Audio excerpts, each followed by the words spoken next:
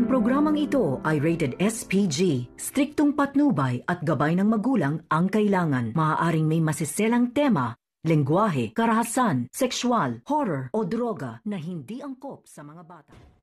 Aalis muna ako. Babalik muna ako ng Cebu. Iiwan muna kita dito kay Zoe. Pinakiusapan naman ni Don Pepe itong ang kanyang anak na si Obeng. Napakitaan daw ng magandang ugali itong kanyang anak na si Zoe. Dahil pinagtsatsagaan daw ni Zoe na alagaan itong kanyang ama. At dito rin na nagpapaalam itong si Don Pepe kay Obeng na pangsamantala daw siyang mawawala at iiwan itong si Obeng dito nga kay Zoe. At dito naman na tila malungkot itong si Dr. Tanyag dahil asikasuhin nga daw ni Don Pepe itong mga negosyo nila na naiwan nga dito sa Cebu. Subalit bago man makaalis itong si Don Pepe, ay nangako ito kay Dr. Tanyag na ibibili niya daw muna ito ng telepono at nang sa ganon ay palagi daw silang magkausap at matatawagan ni, ni Dr. Tanyag itong kanyang ama. At ito na rin ang ginamit ni Ubeng upang matawagan nga itong kanyang ate Giselle doon naman sa Apex at ito nga ang kanyang mga nalaman na sinabi ni Giselle dito kay Obeng na papunta nga daw itong si Moira dito nga sa US at sana raw ay wag daw itong basta-basta magtiwala itong si Obeng sa lahat ng mga sasabihin dito ni Moira dahil hindi niya kilala ang babaeng ito lalo pat nawawala ngayon ang mga alaala nga dito ni Dr. Tanyag sa mga lahat na ginawa nga dito ni Moira. At pinapabango naman ni Zoe itong kanyang ina dito nga sa kanyang ama na si Dr. Tanyag. At paniwalang paniwala naman daw itong si Dr. Tanyag sa mga sinasabi ni Zoe na nagmamahalan daw sila ni Moira.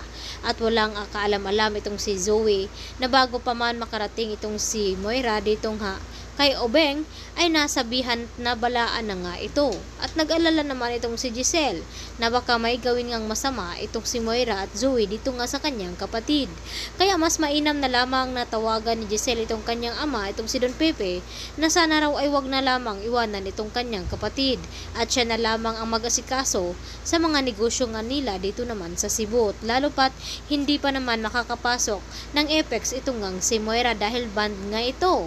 Kaya mapipilitan namang mananatili itong si Don Pepe dito naman sa poder ni Dr. Tanyak dahil sa pakiusap na rin ni Giselle at hindi pa nga nila alam kung ano nga ang mga masasamang balak dito nga ni Moira at Zoe dahil kilala na nga ni Giselle ang ugali nga dito ni Moira na hindi nga ito mapagkatiwalaan at lalong lalo na itong si Zoe at alam naman ni Zoe sa umpisa pa lamang ang krimen na ginawa ng kanyang ina at patuloy pa rin itong pinagtatakpan.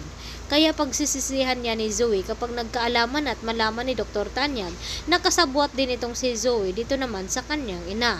Lalo na't ang mga krimen na ginawa niya dito kay Lynette at Annalyn. Ang pagbangga nga kay Lynette at ang pag uh, pilay ng mga kamay dito ni Annalyn, lahat ng iyon ay kagagawan nga dito ni Moira. Kaya magkaalaman na yan. At sa wakas ay matutuloy na rin ang pag-alis ni Annalyn papuntang US dahil sa tulong na rin dito ni Carlos Benitez. At may makakasama pa nga ito at walang iba kundi itong anak ni Carlos na si Harley na nagtatrabaho naman dito sa US at ipapakilala naman ito ni Dr. Carlos ito ngang si Annalyn. Kaya dito naman magkakaroon ng tampuhan at galit ito ngang si Zoe dito kay Annalyn dahil mas makikilala niya pang mauna kaysa kanya na siya ang anak dito ni Carlos Benitez. Kaya yan po ang ating isa sa pakaabangan maya-maya ng konti mga idol kung ano nga ang mga posibleng gawin. Mapapapirma nga ba itong si Dr. Tanyag dito sa PSA nadala nga dito ni Moira upang masulo daw niya at makuha ang shares ng Apex. Yan lang po at marami pong salamat.